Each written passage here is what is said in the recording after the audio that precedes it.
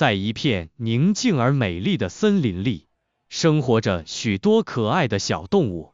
一天，年纪已高、行动略显迟缓的熊猫大爷，为了锻炼身体，他每天都要到外散步。阳光透过树梢洒在地上，给森林增添了几分温暖和活力。熊猫大爷慢慢的走着，享受着这片自然的美景。然而，走着走着，熊猫大爷脚下一滑，不小心摔倒在地。嗨，我老了，眼神也不好用了。他自言自语的说着，可身体太重，就是起不来了。不管怎么用力。熊猫大爷依然纹丝不动，虽然摔得不重，但他毕竟年纪大了，站起来有些困难。路旁的一些小动物们正好在附近玩耍，他们看见熊猫大爷摔倒的样子，纷纷停下了手中的游戏，开始议论起来。有一只活泼的小兔子，它看到熊猫大爷摔倒后，耳朵立刻竖了起来。天哪！熊猫大爷摔倒了，他用急促的声音说道：“我们赶快去通知救护站，让他们来帮助熊猫大爷吧。”一只小松鼠显得有些犹豫，它缩在树枝上，抱着尾巴说道：“嗯，可是熊猫大爷年纪大了，我们还是别轻举妄动吧。要是弄不好，万一出什么大问题，我们可承担不起啊。”另一只刺猬带着警惕，它躲在一旁，用低沉的声音说：“我觉得我们最好不要去碰它，要是扶它起来出点什么事儿，到时候他家人怪罪下来，我们可甩不掉这个麻烦。”小鹿则走上前一步，他温柔的说道：“我们还是赶快帮帮熊猫大爷吧，他肯定需要帮助，难道我们就这样看着不管吗？”然而。动物们的意见不统一，大家你一句我一句，谁也拿不定主意。熊猫大爷躺在地上，虽然不至于太痛，但看着小动物们争论不休，他心里有些着急。还是救救我吧！你们大家把我扶起来就行，我不会怨你们的。只要我能起来，我会将我的所有好吃的分给你们。你们知道我多么珍贵吗？我的好朋友们都叫我是国宝，你们知道国宝重量级是什么概念吗？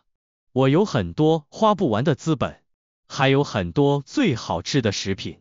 可动物们丝毫没有被熊猫爷爷的话语所打动，他们暗想：我们为了救你，会被你家人赖上的，到时候我们赔不起你呀。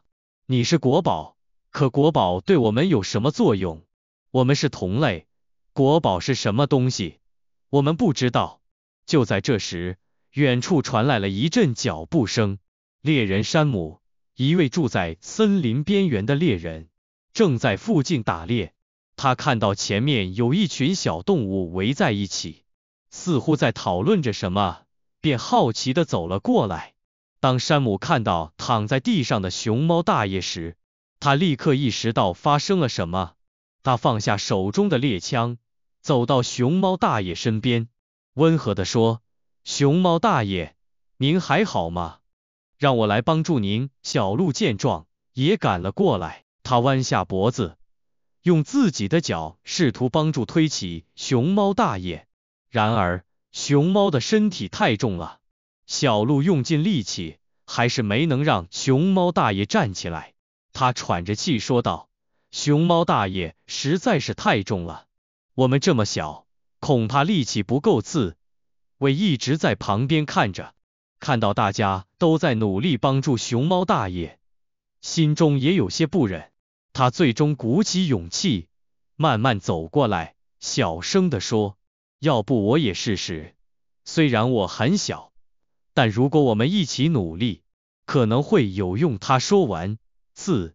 魏也加入了大家的行列，用小爪子顶住熊猫大爷的身体，尝试着推他。可是，无论这些小动物们怎么努力，熊猫大爷依然躺在地上，无法站起来。大家都累得气喘吁吁，脸上充满了无奈和焦虑。熊猫大爷看着这些好心的小动物，心里十分感动，但他知道，单靠他们的力量是无法让他站起来的。听到山姆的话，动物们纷纷安静下来，目不转睛的看着他。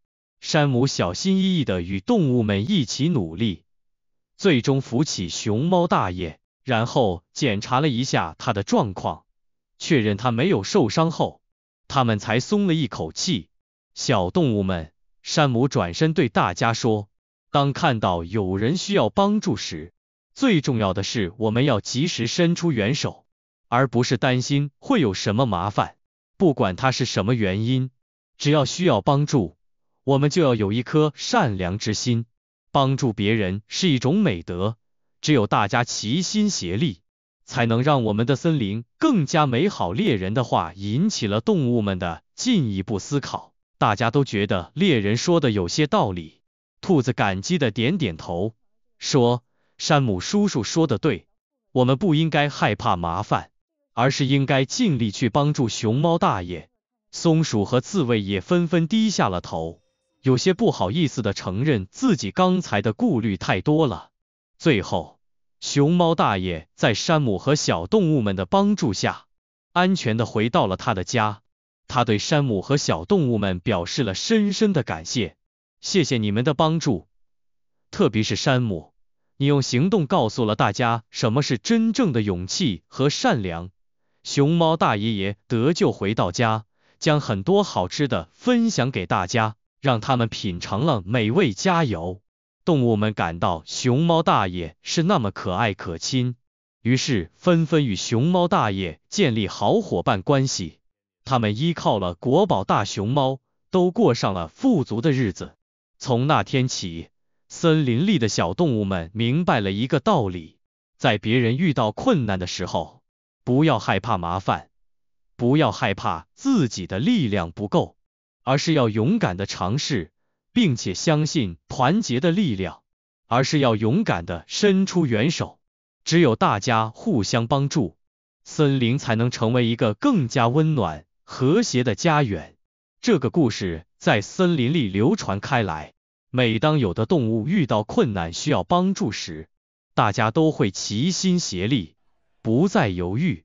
这片美丽的森林也因此变得更加温馨而充满爱心。